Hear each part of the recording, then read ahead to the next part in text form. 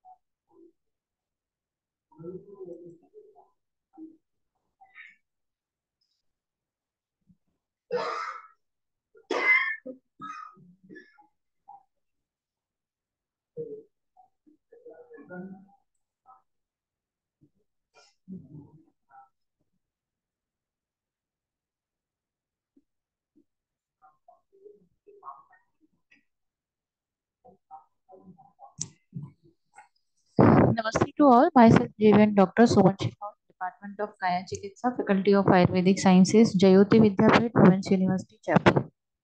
Today we will be discussing about renal failure.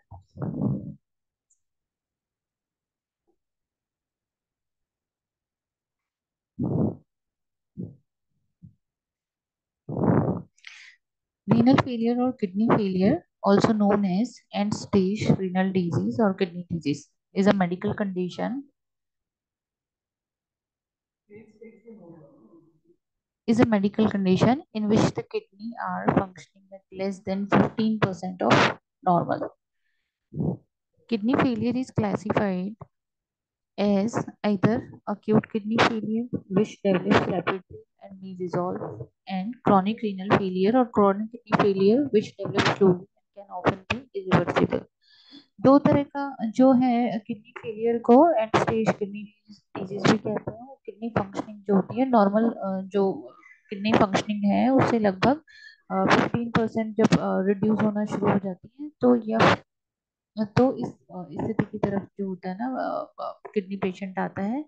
यहाँ पे अगर हम देखें तो दो तरह के रीनल फेलियर होते हैं अक्यूट किडनी फेलियर और chronic kidney failure acute kidney failure जो है, ये जल्दी डेवलप होता है और रिजॉल्व भी जल्दी हो जाता है। ये रिवर्सिबल होता है, इसको जो है वापस से ठीक किया जा सकता है। लेकिन क्रॉनिक किडनी फेलियर जो है, ये स्लोली डेवलप होता है और जो इरिवर्सिबल चेंजेस यहाँ पे किडनीज के अंदर आ जाते हैं इरिवर्सिबल होता है।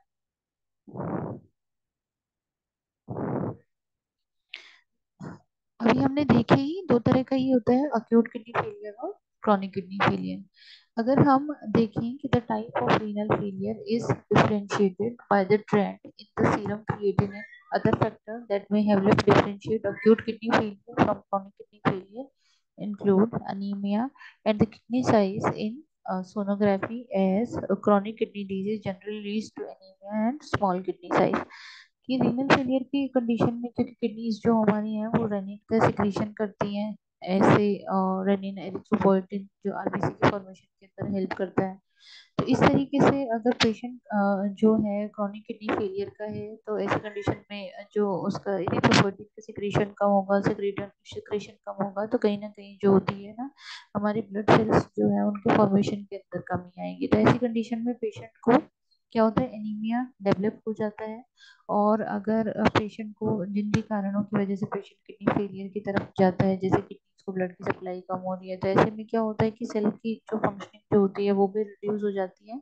और अगर जो है लंबे समय तक सेल्स को, जो होता है ना न्यूट्रिशन अगर नहीं मिले, नहीं मिल पाता है तो एट्रॉफिक चेंजेस भी आने शुरू हो जाते हैं। तो अगर हम अक्यूट और क्रॉनिक में बेसिकली डिफ्रेंशिएट करना चाहेंगे किस तरीके से पता चलेगा तो क्रॉनिक किडनी फेलियर जो है उसमें साथ में पेशेंट को अनीमिया भी होता है। और अगर हम सोनोग्राफी कराने कराएँ। तो पेशेंट की जो रीनल साइज़ जो होती है, वो कंपैरेटिवली पेशेंट की किडनी की साइज़ जो होती है, वो स्मॉल साइज़ देखने को मिलती है। ठीक है? वैसे रीनल फेलियर के कंडीशन के अंदर पेशेंट को सिर्फ़ क्रिएटिन जो होता है, वो डिस्टर्ब रहता है। यहाँ पे हम देखते हैं acute kidney disease acute kidney injury जो है डिजीजेस के लिए, जैसे इंजरी रिस्पॉन्सिबल है कि पेशेंट की किडनीज के अंदर इंजरी हो गई है तो acute kidney injury previously called acute renal failure is a rapidly progressive loss of renal function generally characterise by यहाँ पे क्या होता है कि जो किडनीज के जो फ़ंक्शन है, उसमें तुरंत से या बहुत ही जल्द एक, जो होता है ना, जल्दी के साथ में जो तो रीनल फ़ंक्शन जो होती है ना प्रोग्रेसिवली उसका लॉस होना शुरू हो जाता है, ठीक है? कि और बहुत जल्दी। तो ऐसी कंडीशन के अंदर किस तरह के सिम्टम पेशेंट को आने आने शुरू हो जाते हैं? एक तो ऑलिगोयूरिया में पेशेंट जाएगा क्योंकि हमारा जो होता है ना कि फिल्ट्रेशन का काम जो होता है, वो हमारी किडनीज करती हैं तो ब्लड से जो एक्सेस में जो होता है वाटर कंटेंट जो होता है, वो किडनीज के थ्रू जो हमारे एक्सक्रीटरी सब्सटेंसेस हैं, उनको निकालते हुए उससे जो होता है फ़िल्टर होके आता है। तो ऐसी कंडीशन में अगर किडनीज अपना काम प्रॉपर तरीके से नहीं कर पा रही है तो वो यूरिन जो होती है, उसको भी आउटपुट नहीं कर पाती होती है। तो ऐसी कंडीशन में यूरिन का प्रोडक्शन ही नहीं हो पाएगा, ठीक है? तो यहाँ पे क्या होता है डिक्रीज यूरिन प्रोडक्शन की वजह से पेशेंट ओलिगो यूरिया में जाता है, ठीक है? और quantified as less than 40 ml और sorry quantified as less than 400 ml per day in adult ठीक है? कि अगर जैसे मेल के अंदर मेल एडल्ट है मेल या फीमेल जो भी एडल्ट हैं के अंदर 400 ml से कम मात्रा के अंदर जो होता है यूरिन देखने को मिलेगा। Less than 0.5 ml per kg per hour बच्चे के अंदर अगर हम बात करें तो 0.5 ml per kg per hour in children और less than 1 ml per kg per hour in infants ठीक है? किडनीज जो होती हैं, क्योंकि फ्लूड इलेक्ट्रोलाइट जो होता है, अगर हमारा यूरिन प्रोडक्शन डिक्रीज होगा तो यूरिन के साथ ही एक्सक्रीटरी सब्सटेंसेस बाहर जाते हैं, हमारे फ्लूड को बैलेंस करने का काम करता है। तो इसकी वजह से जो होता है, फ्लूड इम्बैलेंस होगा क्योंकि यूरिन पास आउट नहीं हो पाएगा प्रॉपर तरीके से तो पेशेंट को फ्लूड और इलेक्ट्रोलाइट की कंडीशन जो होती है, वो जनरेट होती है ऐसी कंडीशन में। Acute kidney injury can result from a variety of causes, generally classified. अगर हम इसके कारणों की तरफ़ जाएँ तो इसमें नंबर ऑफ़ कॉजेज हैं जिनकी वजह से इस कंडीशन देखने को मिलती है। तो यहाँ पर प्री रीनल इंट्रेंसिक और पोस्ट रीनल कॉजेज जो होते हैं, वो देखने को मिलते हैं। क्रॉनिक किडनी डिज़ीज़ की अगर हम बात करें तो can also develop slowly and initially show few symptoms ठीक है? Chronic kidney disease can be the long term consequences of irreversible acute kidney disease and part of disease progression ठीक है तो if we are talking about the sign and symptom the symptoms can symptoms can vary from person to person someone in early stage kidney disease may not feel sick or notice symptom as they occur When the kidney fail to filter properly, waste accumulates in the blood and the body. A condition is called azotemia.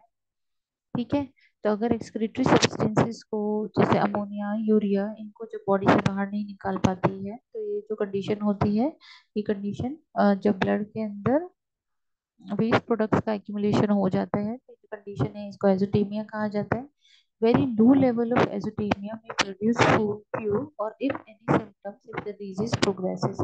Symptoms become noticeable if the failure is of sufficient degree of uh, cause of symptoms. Kidney failure accompanied by noticeable symptoms term as uremia. Urea का level जो है वो blood के अंदर बढ़ जाना is called as uraemia तो अगर किडनी प्रॉपर तरीके से फंक्शनिंग नहीं कर पाएगी तो ऐसी कंडीशन के अंदर यूरिया लेवल जो होता है वो ब्लड में बढ़ जाता है एक्सक्रीशन उसका नहीं हो पाता है।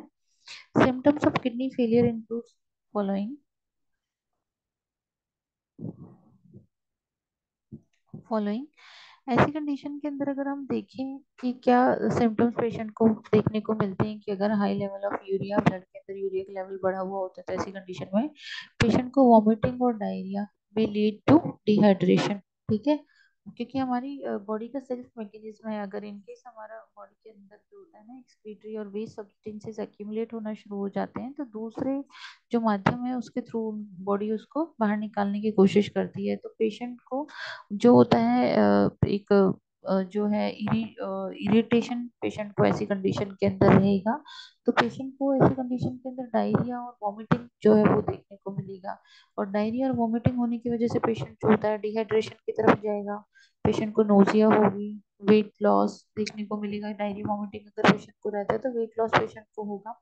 नॉक्टर्नल यूरिनेशन जो है नॉक्चूरिया की तरफ़ पेशेंट जाता है। मोस्ट फ्रीक्वेंट यूरिनेशन और in greater amount than usual with pain urine ठीक है कि फ्रीक्वेंसी जो होती है वो पेशेंट को बढ़ जाती है, ठीक है? और जो है पेशेंट को कैसा कि अमाउंट जो होता है यूजुअली जो अमाउंट आता है, उसकी तुलना पेशेंट को ज़्यादा होगा। ठीक है? लेस फ्रिक्वेंट यूरिनेशन और स्मॉलर अमाउंट ठीक है? पेशेंट की फ्रीक्वेंसी ज़्यादा हो सकती है पेशेंट की फ्रीक्वेंसी कम भी हो सकती है पेशेंट को ज़्यादा मात्रा में भी हो सकता है पेरी यूरिन और पेशेंट को स्मॉल अमाउंट के अंदर और डार्क कलर यूरिन जो होता है वो भी आ सकता है, ठीक है?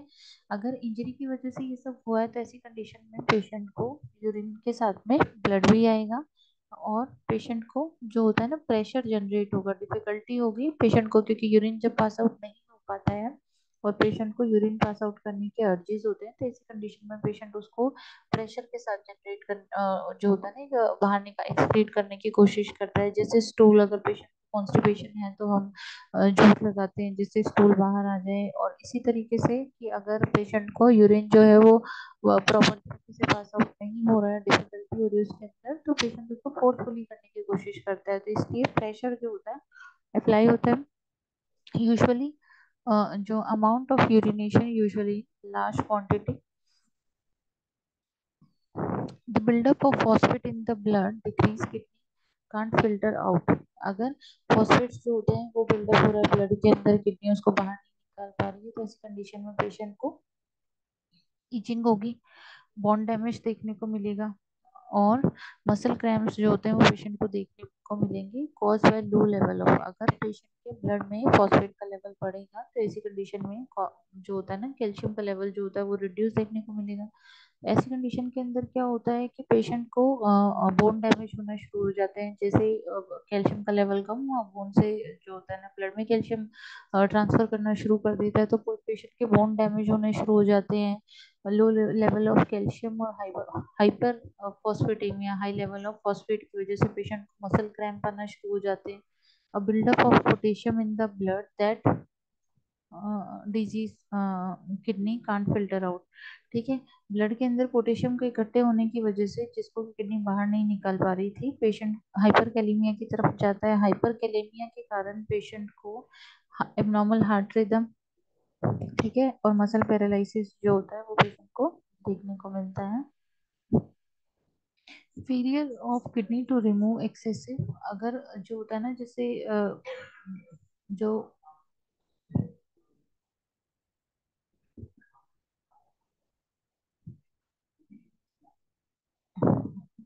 स्वेलिंग ऑफ़ हैंड ठीक है? कि जो जैसे एक्सेसिव फ्लूड जो होता है क्योंकि ओलिगोयूरियम पेशेंट जा रहा है किडनी फ्लूड को एक्सक्रीट नहीं कर पा रही है। तो ऐसी कंडीशन में फ्लूड जब एक्सेस में इकट्ठा होना शुरू हो जाता है फ्लूड नहीं निकल पाता है पेशेंट यूरिन जो होता है वो प्रोड्यूस नहीं कर पाता है ठीक है? जब यूरिन नहीं जाएगा तो इसका मतलब जो एक्स, जो एक्स्ट्रा फ्लूड है वो आपको एक्यूमुलेट होना शुरू होगा। तो रीनल फेलियर की कंडीशन के अंदर पेशेंट को क्या होता है कि पेशेंट को हाथों में पैरों में एंकल फीट फेस इन जगहों पे स्वेलिंग आना शुरू हो जाती है, क्योंकि फ्लूड एक्सक्रीशन नहीं हो पा रहा है। ऐसे में अगर पेशेंट फ्लूड का एक्सक्रीशन ज़्यादा करेगा तो वो ज़्यादा एक्सक्रीशन करेगा तो वो पेरिफेरल सर्फेसिस के अंदर जाके फ्लूड जो होता है, वो एक्यूमुलेट होना शुरू हो जाएगा तो ऐसी कंडीशन पेशेंट की स्वेलिंग और ज़्यादा बढ़ेगी। इसीलिए इस तरह के जो पेशेंट होते हैं, उनको फ्लूड इनटेक जो होता है, वो रिस्ट्रिक्ट कर दिया जाता है। Shortness of breath due to extra fluid in the lung ठीक है? जैसे हाथों पे, पैरों पे एंकल फीट फेस पे फ्लूड का एक्यूमुलेशन होता है, वैसे ही जो हमारा, जो प्लूरल कैविटी होती है, वहाँ पे फ्लूड का एक्यूमुलेशन होना शुरू हो जाता है। तो फ्लूड एक्यूमुलेशन की वजह से लंग एक्सपेंशन प्रॉपर तरीके से नहीं हो पाता, ठीक है? तो इस वजह से पेशेंट को शॉर्टनेस ऑफ़ ब्रेथ देखने को मिलता है। पॉलीसिस्टिक किडनी डिज़ीज़ विच में large fluid filled cyst on the kidney and sometimes the liver can cause ठीक है? पॉलीसिस्टिक किडनी डिज़ीज़ जो होती है, यहाँ पे पेशेंट को large fluid filled cyst on the kidney and the the liver can cause pain in the back or side, ठीक है? कि पेशेंट के बैक में पेशेंट के साइड में पेन होगा, ठीक है? क्योंकि फ्लूड फिल्ड सिस्ट जो होते हैं, वो फ्लूड से फिल हो जाएँगे प्रेशर जनरेट होगा। Healthy kidney produce the hormone erythropoietin ये मैंने आपको पहले भी बताया था कि जो होता है पेनिन और एरिथ्रोपोइटिन का प्रोडक्शन करते हैं हेल्दी किडनीज जो होती हैं वो एरिथ्रोपोइटिन का प्रोडक्शन करती है हार्मोन सिक्रिएट करती है और ये जो होता है बोन मैरो को स्टिमुलेट करता है जो कि ऑक्सीजन कैरिंग आरबीसी जो होती है ना, उसको, उसके प्रोडक्शन के अंदर हेल्प करता है। अगर किडनी जो है वो फेल होगा, ठीक है they produce less erythropoietin erythropoietin कम बनेगा resulting in decrease production of RBC ठीक है, जिसकी वजह से आरबीसी का प्रोडक्शन जो होता है वो ठीक है? डिक्रीज होगा to replace the natural breakdown of old RBC ठीक है? कि पुराने जो आरबीसी हैं वन ट्वेंटी डेज़ इसका लाइफ स्पान होता है तो पुराने आरबीसी का नेचुरली ब्रेकडाउन होगा और नई आरबीसी जो है, उनका फॉर्मेशन डिक्रीज हो जाएगा। इस वजह से पेशेंट जो होता है, वो यहाँ पे एनीमिया की तरफ़ जाता है। ठीक है? जिसकी वजह से किस तरह के सिम्टम्स पेशेंट को आते हैं ऐसी कंडीशन की वजह से पेशेंट को जैसे फीलिंग टायर्ड और वीक ठीक है? पेशेंट को वीकनेस हो गई टायर्डनेस होगी पेशेंट को थकान पेशेंट को रहेगी हर समय कमज़ोरी महसूस होगी मेमोरी प्रॉब्लम पेशेंट को आने लगेगी। डिफिकल्टी कंसंट्रेशन ठीक है? क्योंकि हमारा हर, जो होता है ना, हमारे हर बॉडी सेल्स को फ़ंक्शन करने के लिए ऑक्सीजन चाहिए। और ऑक्सीजन जो होती है, वो हीमोग्लोबिन कैरी करता है। हीमोग्लोबिन आरबीसी का पिगमेंट है। अब यहाँ पे अगर जो है आरबीसी का ही फॉर्मेशन नहीं हो पा रहा है तो हमारे जो सेल्स हैं वहाँ तक ऑक्सीजन जो होती है, वो प्रॉपर तरीके से नहीं पहुँच पाएगी। ठीक है? तो पेशेंट को जनरलाइज वजह से सिम्टम्स आएँगे क्योंकि ब्रेन को अपने फंक्शनिंग के लिए भी प्रॉपर अमाउंट ऑफ़ ऑक्सीजन की ज़रूरत होती है, ठीक है? तो यहाँ पे पेशेंट को हर समय थकान होगी वीकनेस होगी मेमोरी प्रॉब्लम पेशेंट को आएँगे कॉन्सेंट्रेशन के अंदर डिफिकल्टी पेशेंट को होगी, साथ में पेशेंट को डिजीनेस शुरू हो जाएगी और लो ब्लड प्रेशर पेशेंट को देखने को मिलेगा। ठीक है? Normally protein are too last to pass through the kidney ठीक है? नॉर्मली क्या होता है? प्रोटीन किडनी से नहीं निकल पाता। However able to pass through when the glow नहीं, लेकिन अगर पेशेंट के किडनीज डैमेज हैं पेशेंट का ग्लोमेरुला जो है, वो अगर डैमेज है तो ऐसी कंडीशन में जो लार्ज पार्टिकल्स होते हैं, वो भी जो होता है ना, क्योंकि प्रोटीन पार्टिकल लार्ज होते हैं तो वो भी उसमें से निकलने शुरू हो जाते हैं। इस वजह से पेशेंट को इस तरह की जो होती है ना प्रोटीन यूरिया की कंडीशन देखने को मिलती है कि this doesn't cause symptoms until extensive kidney damage has occurred after which symptoms include foamy and bubbly urine ठीक है? कि पेशेंट जो है प्रोटीन निकलना शुरू हो जाएगा यूरिन के अंदर तो किस तरीके का यूरिन पेशेंट को आएगा कि पेशेंट को झागदार जो होता है ना यूरिन आना शुरू हो जाता है। पेशेंट के हैंड फीट एबडोमेन फेस इनके अंदर पेशेंट को स्वेलिंग होना शुरू हो जाती है। ठीक है? एपेटाइट लॉस पेशेंट को होगा। ठीक है? बेड ब्रेथ जो होती है ना, वो टेस्ट का अमाउंट बेड टेस्ट मुँह का टेस्ट जो है वो पेशेंट का बेड होगा। डिफिकल्टी होगी स्वेलिंग के स्लीपिंग के अंदर। ठीक है? डार्कनिंग ऑफ़ द स्किन देखने को मिलेगी। With high dose of penicillin people with kidney failure में एक्सपीरियंस सीजर ठीक है।